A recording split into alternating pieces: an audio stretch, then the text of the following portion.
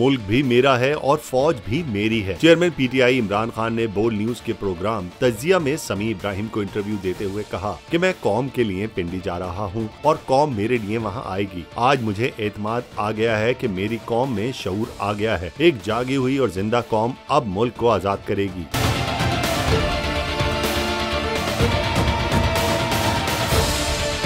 इमरान खान ने कहा कि हमेशा मेरे जहन में था कि हम एक खुददार तरक्की याफ्ता कौम बने। आज़ाद कौमें बड़े काम करती हैं। हम चाहते हैं इदारे मज़बूत हों, क्योंकि इदारे मज़बूत होंगे तो मुल्क मज़बूत होगा। सब इदारों पर मेरिट में लोग लगने चाहिए। मैं चाहता हूँ मेरिट पर तैनातियाँ हों। मेरिट से इदारे मज़बूत होते हैं। इमरान खान ने कहा कि महँगाई आसमानों पर जा रही है। सात माह की हुकूमत की कारकर्दगी आवाम के सामने है। ये जब भी इलेक्शन करवाएँगे, उनकी सियासत खत्म हो जाएगी।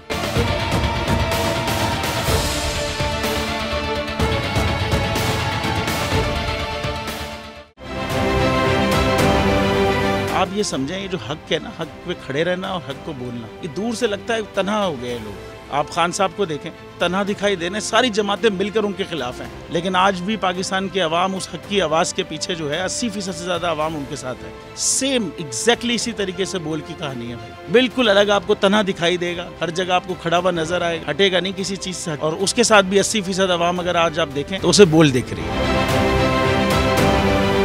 जाली केस है ना, ये हम पे उस वक्त बनाए गए थे जब हुकूमत यही थी। इन्हीं लोगों की हुकूमत थी ना। और ये जाली केस, इनको मैं नहीं कह रहा इस केस को जाली केस। इनको पाकिस्तान में क्या पूरी दुनिया में एक ऐसा शिकायत कुंदा नहीं मिला, एक ऐसा कंप्लेनेंट नहीं मिला, जिसने ये कहा हो कि हमारे साथ फ्रॉड हुआ है। तो ये खुद ही बन गए कंप्लेनेंट, और ये खुद ही इन्होंने खुद ही इन्वेस्टिगेशन की, उसकी खुद ही तफ्तीश भी की। यानी कि कंप्लेनेंट भी है इन्वेस्टिगेशन ऑफिसर भी है, और इन द एंड इन्होंने फिर उसके बावजूद ये कोर्ट में जमा कराया कि जी, ये केस जाली केस था, ये मेरी बात नहीं है, ये इनके इन्वेस्टिगेशन ऑफिसर की बात है।